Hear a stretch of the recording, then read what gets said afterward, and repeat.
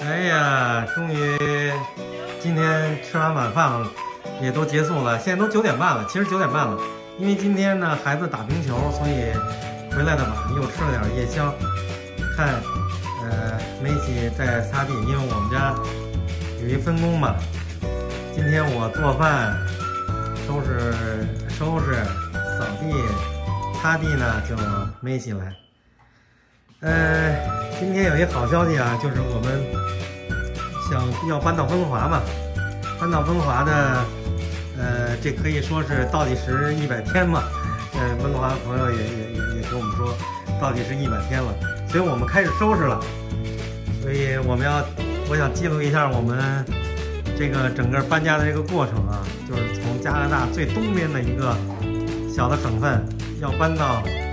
加拿大最西边的温哥华大温地区，这是一个什么样的体验？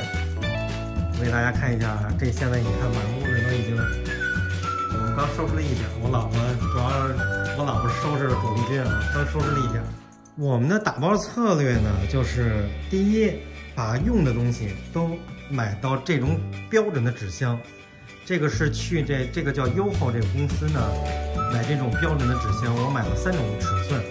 我们现在用的这个是一个中号的 medium 的，还有一个大号的。哎，我们就是想有用的东西我们都带走，所以带走的东西放到这种标准箱里面，然后我们打包。还有一类呢，就是要扔的。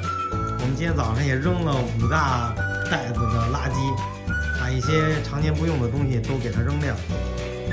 再有一个呢，就是收拾出来觉得质量还不错、还好的东西呢。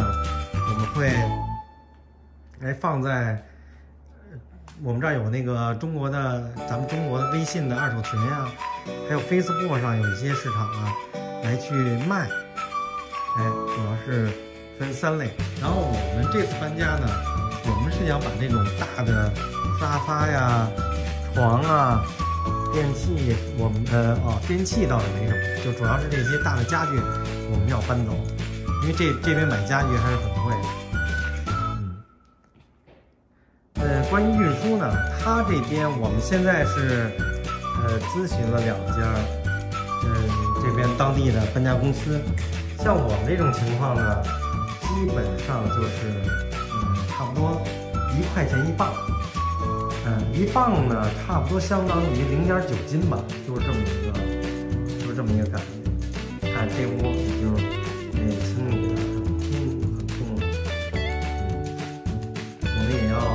卖这套房子嘛，所以就把这个所有的地地方都给它清空，清空之后，我们再重新的布置，然后照相，挂上这个本地的这个销售市场，家里很乱啊，嗯，像这些餐桌啊，如果不出意外的情况下，我们都是想把它直接搬走。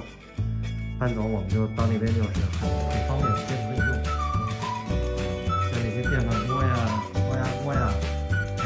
是要带走。呃，其实搬家还是很巨大的一个工程。嗯，这整个的搬家，我刚才说了，它差不多一块钱一磅。呃，这个价格我们家估算差不多应该得有六七千磅左右，也就是说，整个的这个从这边搬过去。至少要花到六七千的加币，和人民币差不多三万块钱吧。好，今天就先聊到这里。